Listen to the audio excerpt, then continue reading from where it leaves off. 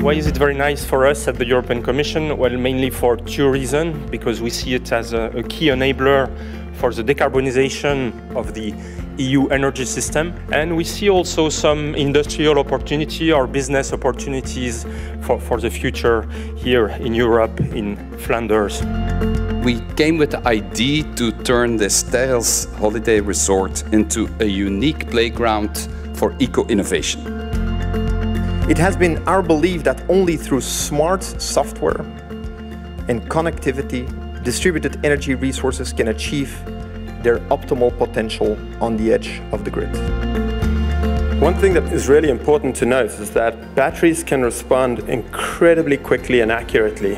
And as you saw, they're up to 100 times faster than the assets that have historically been used to balance the grid.